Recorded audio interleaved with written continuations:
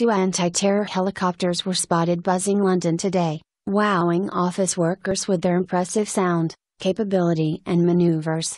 It is not clear who was presumably practicing for any situation or imminent threat, or if they wanted to deliberately put on a show of force. It comes less than 24 hours after British ISIS widow and would-be jihadi Sally Jones warned people not to go into London. She tweeted a chilling threat on Twitter, to be honest I wouldn't go into central London through June. Or even July well to be honest I wouldn't go there at all especially by tube. Office workers in the capital were today quick to spot the impressive choppers swooping down over key landmarks like the London Eye, Big Ben, the Shard, Canary Wharf, Battersea Power Station and the Monument. One called Stanley tweeted, V22 Ospreys over my office. They're pretty damn cool. Another called Chris tweeted, awesome sight. Photo didn't do it justice. One man, Saqib Khalik, even managed to capture them on video. While nobody is sure who the helicopters belong to, the SAS were expected to take delivery of the new anti-terror choppers this year. The V-22 Ospreys have been heralded in some quarters as being capable of becoming the new British weapon in the war on terror. Nicknamed the Transformer, they are better described as heli planes able to scramble fighters swiftly to where they are most urgently needed. The Transformer name comes from its ability to perform as both a chopper and fixed wing aircraft thanks to its proprotors.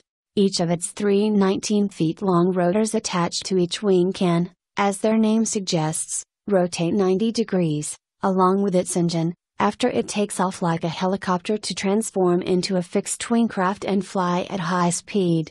If the SAS have taken delivery of the £43 million copters at their top secret military base at Stirling Lines, their regimental HQ at Credenhill, near Hereford, they will have found them almost twice as fast as anything they previously used. Any UK pilots will also need to have been trained by their US counterparts who are known to have been using them for a while. In fact, a chopper of its type was first seen in use in the UK last month escorting US President Obama on his visit to the UK, although it's unclear who was piloting it.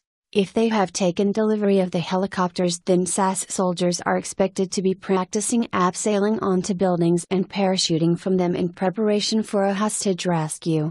The SAS are known to have an anti terror squad permanently based in the capital, but access to such transport would likely be a welcome addition in the fight against ISIS who continue to threaten to bring murder, mayhem and bloodshed to the streets of Britain.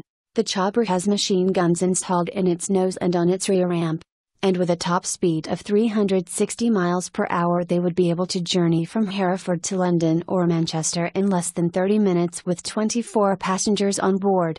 Its range is also much greater than the helicopters the SAS has previously used, able to fly 1000 miles or for 8 hours without refueling. This means that the same chopper would be able to fly soldiers to several different locations if terrorists launched multiple strikes.